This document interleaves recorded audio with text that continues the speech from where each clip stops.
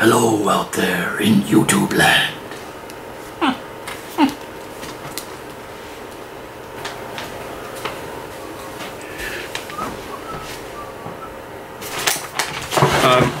Who turned this camera on?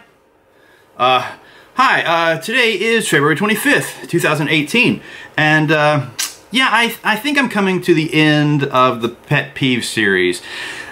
Not completely the end, because there are still going to be updates that I'm going to do to some of these videos, but you gotta admit, 100 is a nice round number to quit on. And I've got some other video projects that I want to channel my energies into. Matter of fact, I've already begun editing one of them and I'm trying to make it really amazing and perfect and powerful. So, with an eye towards that, I think probably the pet peeves I'm gonna step back from for a little while. Some of you, I know that's gonna disappoint. Uh, and I apologize, but uh, I really never expected I would shoot a hundred full entries plus this makes like 144 videos in the playlist total, so nearly 150. Uh, a few of those were older that I recorded before and I added into the playlist, but still, that's a lot of videos. So, um, got you know, just a couple of things that I want to touch on today. Hey, good news. Diamond Select Toys has announced that they are going to fix the uh, little sign uh, that's going to go on the uh, firehouse facade uh, build a diorama that comes with the, the, the uh, Ghostbusters 2 and Real Ghostbusters figures. But they are not going to uh, address the uh, name tape issue on the torso from what I most recently read. Uh, and uh, a lot of people are saying they don't like that Ray Stantz sculpt because it looks like Alfred E. Neuman from Mad Magazine on to the pet peeves, I do still have some notes here for certain topics. So this will be like a mega pet peeve uh, video, and it'll sort of be like, you know, when your daddy found you smoking a cigarette, he stuck you in the closet with a whole carton to finish. So yeah, we're going out with a bang with a lot of pet peeves in this video, so enjoy. Over on the YouTube comments, Story is Everything wanted to know, did Winston ever get a locker? I have heard this question before, but really I don't remember it ever popping up until the Lego Firehouse came out. Obviously, I've got uh, the second and third stories uh, taken off uh, for clarity here. But inside there, they put lockers for Spengler, Stantz, and Venkman. And a lot of fans were complaining about that. Like, Why didn't they have a locker for Winston? Why didn't they have a locker for Winston? Okay.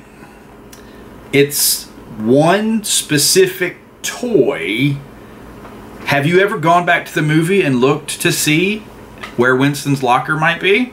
And that becomes its own pet peeve for me because in a day and age of the internet and social media, it seems like fewer and fewer people are going back and checking the source material. They're just repeating the trendy thing that someone said and not going back and actually studying the hard facts. Uh, it's becoming like a a second generational um, complaint. It's like, well, did you did you notice that for yourself, or did you just hear somebody talk about it and you've adopted it as your thought?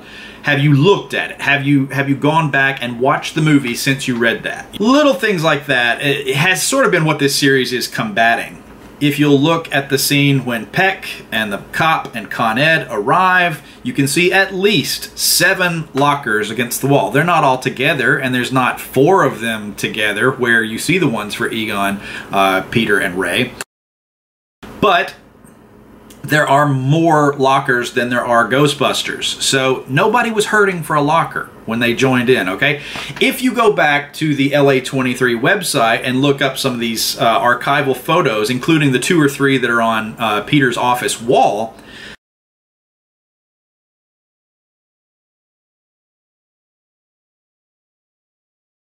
and some others,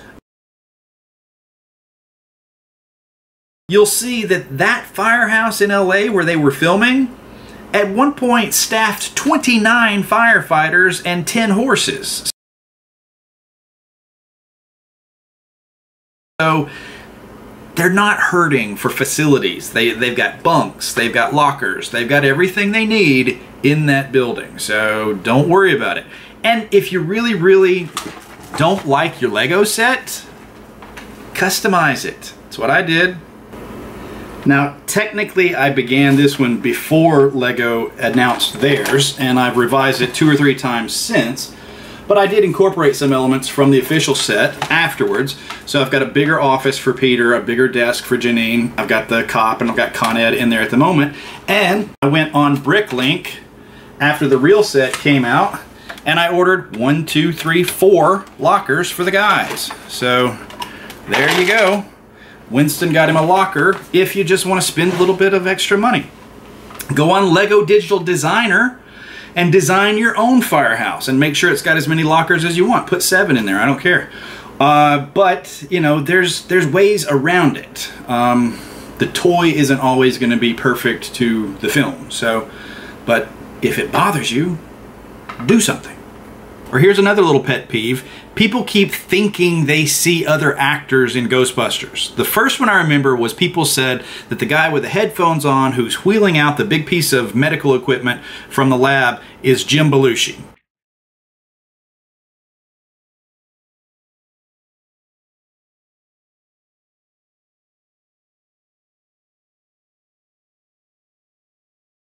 Looks nothing like Jim Belushi to me. He's too short. He's he's not heavy enough. Doesn't look like him at all, but some website said it was and people kept repeating it. In case you're wondering about that uh, still frame of Jim Belushi dressed up as a Ghostbuster, it was a skit from 1984 called The Ghostbusters Show, and he was like a local cable access kind of a guy that loved Ghostbusters. He was sort of like the proto Ghostbusters fan. His name was the character's name was Chad Webb. He only made one appearance on Saturday Night Live, and a video of this used to be up at Proton Charging, and now I can't get the link to work anymore. So all I had was that one still to show you, and uh, I am investigating. I'm going to try to get that uh, piece of video like uh, resurrected somehow so that people can see it again because I thought it was a great skit.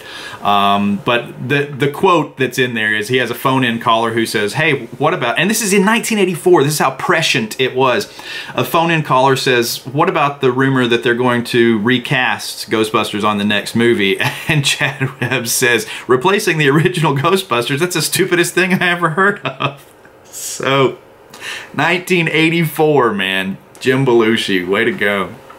And then uh, someone thought that the paramedic at the end of the movie was Burt Reynolds.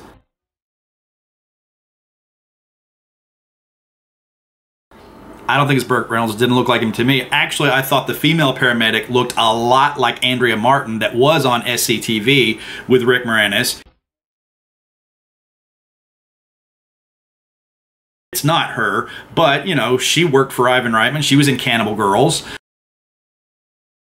Recently, someone asked and thought it was uh, here on, on this playlist, uh, said they thought Brian Doyle Murray was Marty, the guy putting up the Ghostbusters Incorporated sign over the door.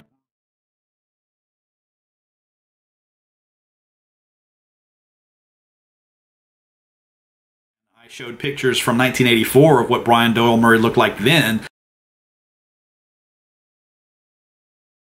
And he was like, oh, okay, you're right. It's not him. Wade Haddock reminded me of this one the other day, and I had forgotten. Uh, I heard this for the first time back in like college. So somewhere between 88 and 92, I was told that the little girl at the birthday party in Ghostbusters at the Tavern on the Green when Lewis is up against the glass was singer Debbie Gibson.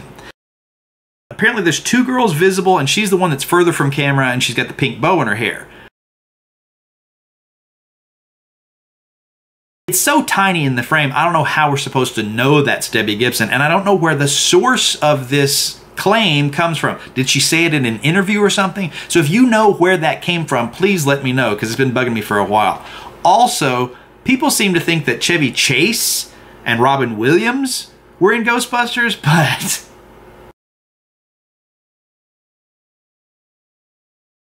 Oh, well, that's odd. Hmm. And here's a little pet peeve of mine. I don't have an autograph from Ivan Reitman. I tried back in 1989. I found addresses for their offices and I mailed off three letters. I got a response from Joe Medjuck. I got a response from Michael Gross. From Ivan Reitman, I got a response from his secretary who sent me a pre-printed 8x10 of the cast of uh, Ghostbusters 2 with all their signatures already printed on it.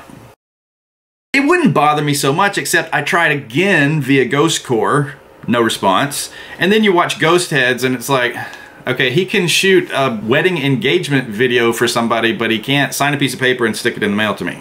Also in 1989, I did get uh, Rick Moranis' autograph through the mail, so that was kind of cool. The photo wasn't from Ghostbusters, it was from uh, Honey, I Shrunk the Kids. But I put it with my uh, Little Shop of Horrors autograph collections.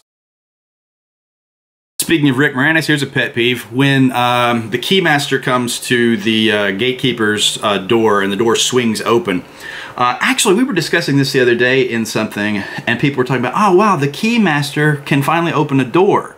You know, and I thought, no, because she's in the apartment and she looks towards the door and it opens. I think the gatekeeper opened the door, but that's up that's certainly up for debate.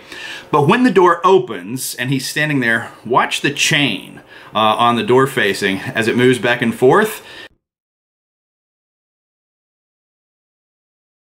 Because you can tell that the blast damage effect to the apartment was sprayed onto that while the chain was stationary and as the chain moves you see the unpainted chain shape in the paint uh, as it kind of swings back and forth there. So little pet peeve. One, something I noticed years ago and I can never unsee when I watch the movie. I thought this was kind of neat in the novelization by Mueller uh, there's a, a, scene where uh, Venkman goes on the Letterman show and says that the most frightening thing he's seen since he founded Ghostbusters was running into Larry Bud Melman in the green room before the show. Larry Bud Melman was in the music video for the Busboys cleaning up the town. That's pretty cool.